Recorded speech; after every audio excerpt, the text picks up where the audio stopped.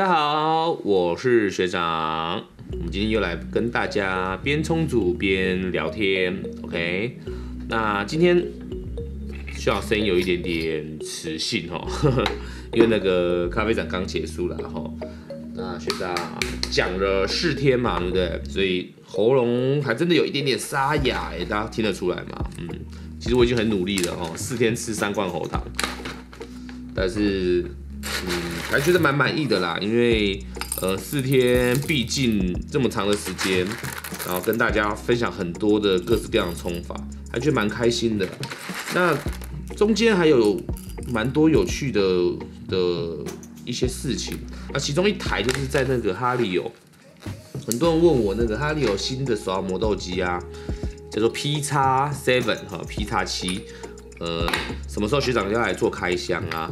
那学长一定会做开箱的啦，因为这台磨豆机我也蛮喜欢的，然后它又是台湾全机身都是台湾制造的哦，所以我其实还蛮期待呃那一台磨豆机问世的。但是因为我学长玩的呢是样品机，它就不是真正最终的版本啊，而且一问世可能还有一点时间要修正什么的，所以呢。呃，这次他有也找我，也就是除了示范之外，也问了我一些意见所以我觉得还蛮好的。等到他可能快要问世的时候呢，我就会呃拿来给拿来做一下开箱，会跟大家分享一下它的的状况如何。那我这四天用起来是觉得还不错啦，因为它有好几个设计都还算是比较特殊的，比如它的粉盒啊，或者是它的刻度盘呐，其实都。还算蛮有特色的哈，我个人是蛮有信心的哈，所以大家可以稍微再稍等一下，学长一定会开这这个箱的啦哈，所以不用太紧张。那我们刚刚用的是粒子 C 嘛哈，是一个呃 CP 值很高的磨豆机。那我们今天用老盐尼的滤杯跟手中壶哈，那这也是学长咖啡展的时候用的。那咖啡展期间。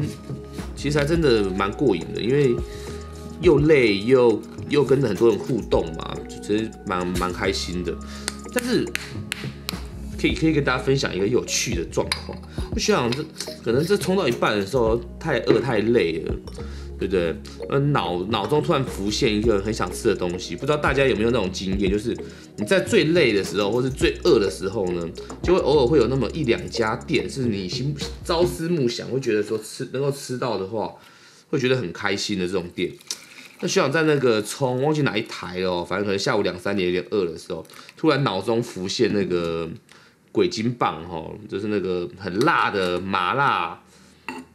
拉面哦，就是辣麻味增拉面，那我觉得蛮好玩的，就是我那个当下可能真的觉得说，如果吼喝了这么多咖啡，如果可以来一碗又麻又辣，然后那个它的油脂其实还蛮重哦，下的蛮重，味道很重，能来一碗这种拉面的话，真的是超级爽快的哈，超级抚慰人心的。那不知道各位有没有那种？必吃的，你就是你在很累的时候，觉得只要吃一碗或吃一个什么餐，你就会觉得很愉快的这种店哈。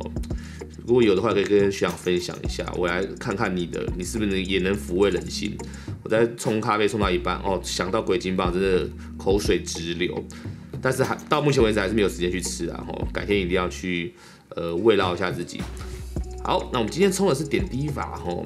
那我在展场的时候也是很好玩，因为冲呃最后示范了，尤其礼拜天，真的已经示范到已经有点抓狂了，因为已经七个小时了嘛。最后吼，我就觉得啊，不想再冲普通冲法，我既然在拿老爷尼在点滴法吼，然后现场的那个一些呃。观众们，他们还觉得哦，学长你不累吗？到了这个时候还在点滴法，那我就跟他们讲说，哦，我现在心心中就想要做一些不一样的事，哈，所以我就很疯狂，还在展场做点滴法，哦，那点滴法其实当然你需要点技术了，但是其实你把当你看到那个粉尘这么膨胀的时候呢，你还真的是心中挺疗愈的，那，也会为自己觉得哦，自己觉得自己蛮厉害的那种感觉还是不错的，OK。好，所以展场真的还蛮多好玩的事情的。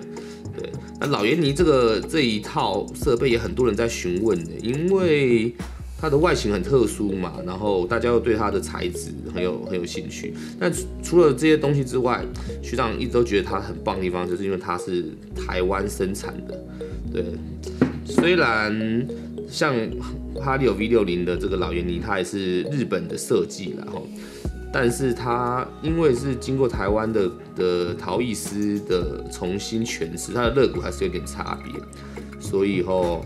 它的风味还是有点点差，而且真的外观上面真的比 V 传统 V 六零还有气质啊。OK，所以我是觉得很棒，因为台湾的实力在这个部分能够被展现出来。那希望身为咖啡产业的一份子啊，那台湾如果有这个实力可以做很棒的咖啡器材的话，当然要支持。而且我也觉得非常的开心。那像老严老严尼的手装壶也是啊，它不但是台湾人生产的，也是台湾人设计出来的吼。那当所以用起来又这么好用的情况之下，那当然没有不支持的道理。嗯，所以这次最近很喜欢用这台用这支老袁尼的手冲壶，在到处的展演，到处的展演，觉得非常的开心。好，我们操点滴法完成了哈，点滴法也蛮值得练的哈。如果各位呃有那个耐心，愿意稍微练一下的话呢，真的蛮不错的。OK，好，我们来喝一下吧。好，这是咖啡展，就是咖啡人的的一个大聚会啦。很多同行同业嘛，我们都会呃在咖啡展边转来转去啊。所以学长除了展演的时间之外，其他时间也就是跟其他同行在那边疯狂的聊天啊，疯狂的交流，觉得蛮蛮开心的哈。毕竟这种呃。这么多人为咖啡产业这么认真的一件事情，嗯，那你就觉得真的其实还蛮热血的啦。我觉得还蛮热血的，蛮开心的。我们来喝一口吧。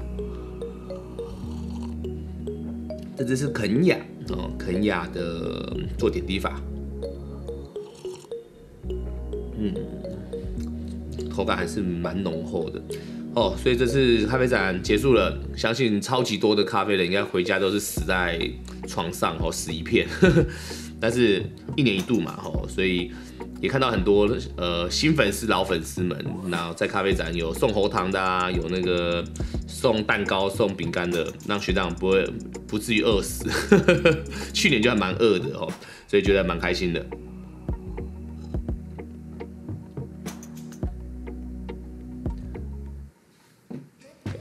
OK，好，那。最近圣诞节又快到了，学长最近也在构思，要不要来为粉丝们准备一些有趣的圣诞节的圣诞礼物或者是交换礼物？嗯，最近有很多有趣的 idea，希望到时候大家看到的时候都会觉得很喜欢喽。嗯，好，那我们今天的时间就差不多了哈，那很开心能够在呃这样的时间里面跟大家。呃，喝一杯咖啡，聊聊生活的近况。呃，毕竟咖啡就是生活的一个部分。虽然我们这些咖啡人的一年一度的奋战结束了，但是我们还是要持续的，呃，每天要喝咖啡啊。然后我们还学长每天要练习咖啡，要测咖啡，然后还要上课什么的。毕竟咖啡真的不是一天两天的事，就是它是一个长时间每天都要做的事情。哈，所以就让我们除了繁忙的时候热血一下，平常也让我们悠悠闲闲的。持续的开心的喝咖啡吧。好，那就这样喽，谢谢大家，拜拜。